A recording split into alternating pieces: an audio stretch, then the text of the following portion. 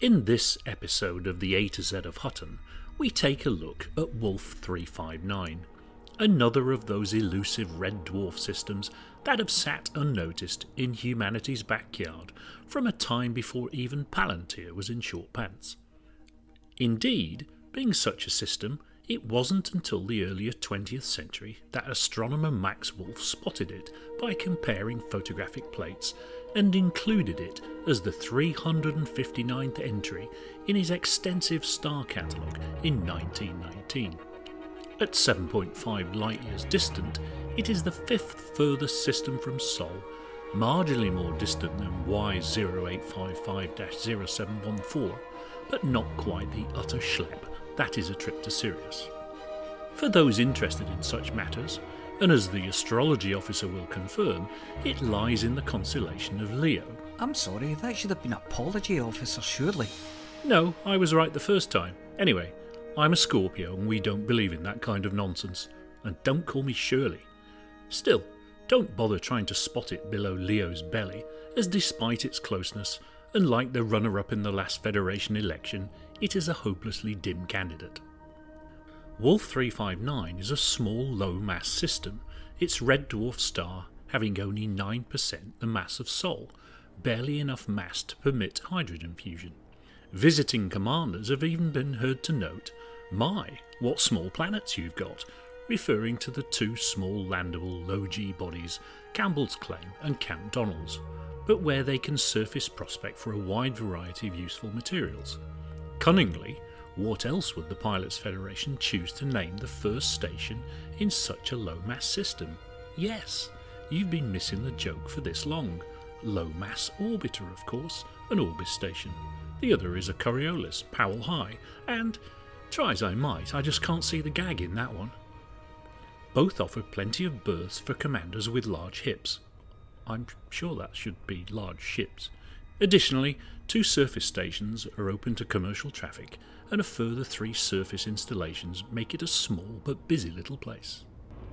The economy of Wolf 359 is based on industry, but it remains a relatively economically poor system, latterly sitting in the lower half of the Hutton influence tables, its small population of 130,000 just about managing to keep the wolf from the door.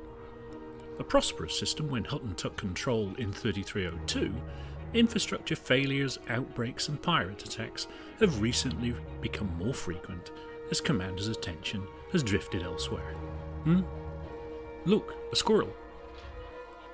Hutton's home system Alpha Centauri, being the next closest system to Sol, made for an interesting glitch in the Matrix when Hutton unexpectedly expanded into none other than the very cradle of humanity, Sol. This caused ructions at the highest level of the Federation. Gas were never so flabbered, and rumour has it that Lord Braben himself had a sweater shopping expedition interrupted until it was decided just what the hell was going on and what to do about it. The Pilots Federation were forced to immediately take the blue pill. Some shady looking agents in black suits and dark glasses turned up, there was a bright flash, and Hutton was suddenly in control of Wolf 359 without anybody remembering why or how they got there.